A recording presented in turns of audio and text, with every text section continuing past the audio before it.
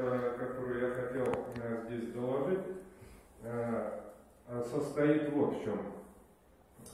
Она принадлежит уже не Кубрику, не, не Фрейду, а, собственно, мне. И я пытаюсь подвести итог вот этих открытий художника и психоаналитика.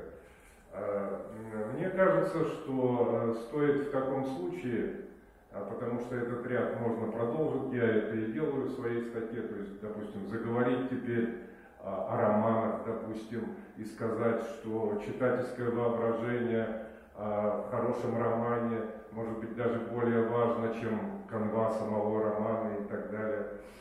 А, а, итог состоит вот в чем. А, в том, что стоит очевидно говорить о некой единой виртуально-реальной а, реальности человека, где виртуальность и реальность, вот они слиты а, настолько, что одно очень трудно отделить от другого, и, что гораздо более важно, вот виртуальность часто оказывается более реальной, более реальной, чем сама реальность для человека. Э, это можно было бы э, подкрепить э, различными цитатами из, из классики, в том числе, вот если почитать, допустим, ну, это чуть ли не наугад выхваченное произведение Набокова «Лолиту», то мы увидим там ту же самую картинку. Лолита насквозь была выдумана Гумбертом, главным героем этой книги. На самом деле она не такая, она пошлая девчонка, а, вот со всеми переходными а, кризисными вещами для подросткового возраста и так далее. А, достаточно недалекая а, по уму, а, по развитости чувств и так далее и тому подобное. Но она была вы, выдумана Гумбертом, и Гумберт э, готов был отдать э, за эту реальность, выдуманную реальность жизнь, она вторглась в жизнь. Гумберта сломала эту повседневность. А, я говорю, что это такой проходной пример, их можно было привести а, множество. А, я попытался вот в третьей части, теперь я к ней перехожу, поскольку обещал быть кратким, я попытался в третьей части как-то суммировать вот все мной прочитанное и передуманное, и увидел, что а, что вот эта виртуальная реальность, которая составляет единую, единую а, часть, или, если говорить э, языком геометрии, является составляющей, составляющей а, человеческой реальности в целом, ее можно проследить с момента появления человечества. Допустим, я составил себе такую схемку виртуальной реальности мифа, мифов, э, мифов, конечно, во множественном числе, потому что они многоразличны и многообразны. А вот это составляющая э, такой части человеческой истории, как первобытность. А, э, виртуальная реальность мифов и религий – это древний мир. Виртуальность, виртуальная реальность религий, если придерживаться классического европоцентризма, Э, я стараюсь его придерживаться, хотя, наверное, это плохо в современном мире. А виртуальная реальность религии – это средневековье. Первобытность, древний мир, средневековье, виртуальная реальность искусства, литературы и идеологии, а, их а, развивающемся, зарождающемся, развивающемся виде – это новое время.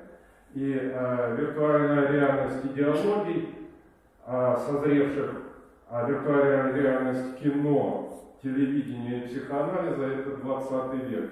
И, наконец, э, девятый вал – это, конечно, виртуальная реальность, которая э, перекрывает все эти реальности, это интернет. Он способен, уже сейчас видно, я отсылаюсь к будущему, конечно, он, уже сейчас видно, что он способен поглотить, как-то переработать, переварить все указанные реальности, начиная с мифов и так далее, и а, представить нам а, какую-то новую а, виртуальную реальность, где это все будет какими-то чертами представлено.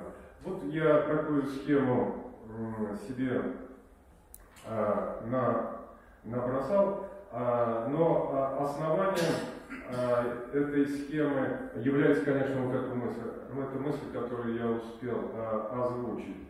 То есть а, смотрите, это тоже э, случайно выхваченный пример, а, может быть, в заключение я его приведу.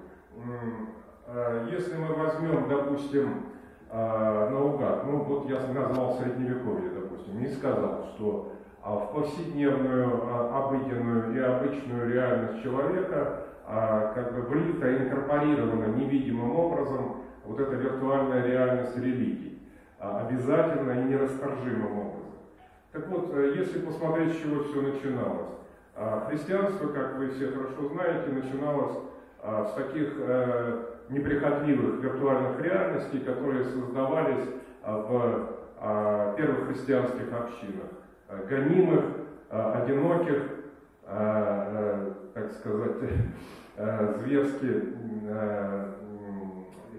зверские издевательства. Здесь, наверное, стоит вспомнить э, римлян, которые а, чинили над христианскими общинами, общинами и так далее. И, и вот а, она возникла, а, эта виртуальная реальность христианства, она развивается. И в средние века, смотрите, что происходит. А, она способна уже, эта виртуальная реальность, погружать своих юзеров а, в пространство формата 3D. То есть а, мы видим, что и взрослые, и дети гибнут в бесконечных крестовых походах. А, вот это такая вселенского масштаба виртуальная реальность. А, как бы она преодолена в какой-то мере, а, была в новое время, я имею в виду критику религиозного мировоззрения. Сейчас религиозное мировоззрение, ну, э, если вы почитаете Конституцию Российской Федерации, оно находится в равных правах с атеистическим мировоззрением в нашей стране, хотя бы формально. А, это так. А, то есть э, вот, вот эту ситуацию невозможно себе представить, конечно, э, в средних веках. А, но и другой хрестоматийный пример. А, э, вы его все сами знаете, я о нем, а, я поэтому не буду говорить много. Это а, 11 сентября. А, вот э, э, все, кто видел кадры по телевизору, а, вот я спрашивал людей, и люди сами а, так сказать, не спрашивая мое мнение, говорили мне, что впечатление дежавю, дескать, я уже это где-то видел. То есть в каком-то фильме ужасов, именно американском, кстати говоря, фильме ужасов, в какой-то компьютерной игре, в каком-то блокбастере и так далее. То есть а, реальность киноискусства, а, она тоже а, способна вот создавать э, составляющую, виртуальную составляющую нормального, обыденного, повседневного э, мира, потому что башни были сделаны из материала, который можно пощупать руками. Это, это обыденная, это самая реальная реальность. А, я имею в виду здания кирпичные, там, бетонные. А вот. Но вот виртуальная реальность мощно вторгается и искажает, кромсает ее. Примеры, примеры очень э, многочисленные, я их больше просто не буду приводить и все.